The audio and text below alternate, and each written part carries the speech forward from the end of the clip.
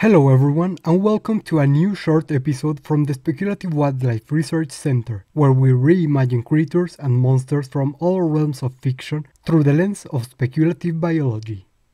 Today, we are finally taking a look at the amazing mascot from the Pokemon series, the one and only Homerchu. Yes, today is our April Fool's episode. Sorry, Homerchu is an internet meme born from, according to my research, bootleg merchandising. I will keep this one short since you must be mad enough already about having to wait so long for Homerchu. So, here we go. Also, if you don't hate me after this video, please consider supporting the channel on Ko-fi. Link available in the video's description.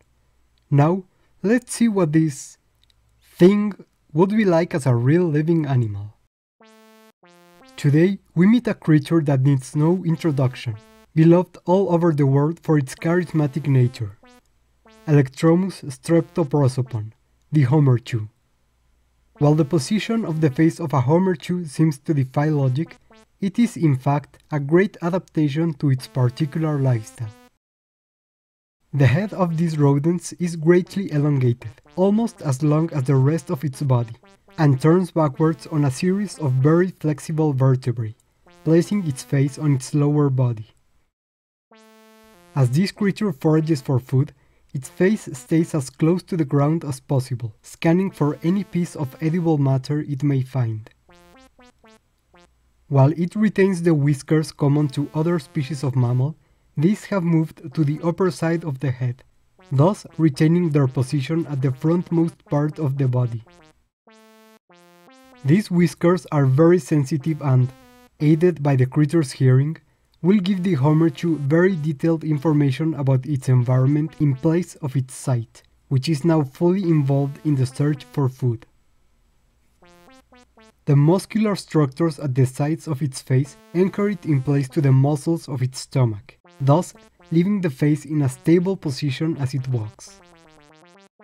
Whether the Homerchu searches for food on the ground or along the branches of trees, its face will remain hidden, protected from sudden attacks by predators. Should any predator try to attack it from the back, however, it will be greeted by a sudden jolt. You see, the tail and back of these creatures are filled with dense, very dry fur.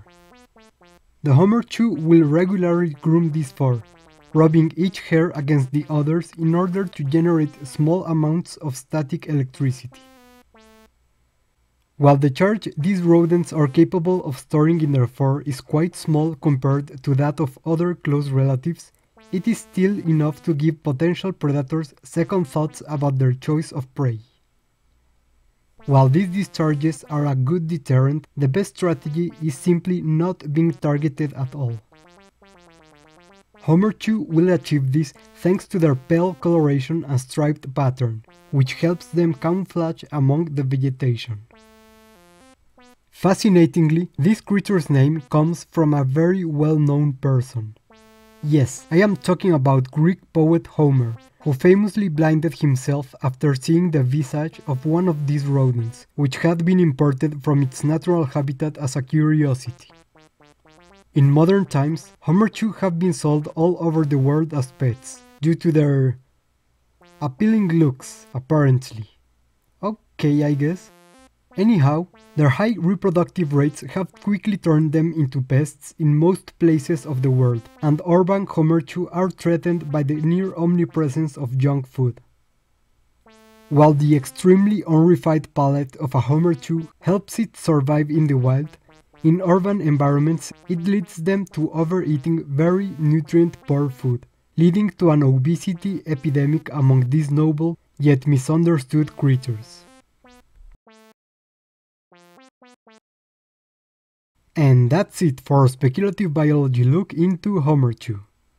I knew I wanted to do something special for April Fools, and while I considered a couple of options, many of them placed in the comments by you guys, the sheer absurdity of this one was what convinced me to give it the spot for this day. Plus, there was the fact that it meant I could use the Pikachu tease for this video. I kinda feel bad about it now. Not a lot though. While this creature is clearly done for fun, I still wanted to give it the full speculative biology treatment as to any other creature, which, at least for me, made the end result all the more funny. By the way, yes, I will be making actual speculative biology Pikachu in a later video, as well as many other creatures from the comments. So remember, if there's any type of creature you would like me to give the speculative biology treatment in the show, please sound off in the comments below. Thank you all for watching, happy April Fools, and see you next time on the Speculative Wildlife Research Center.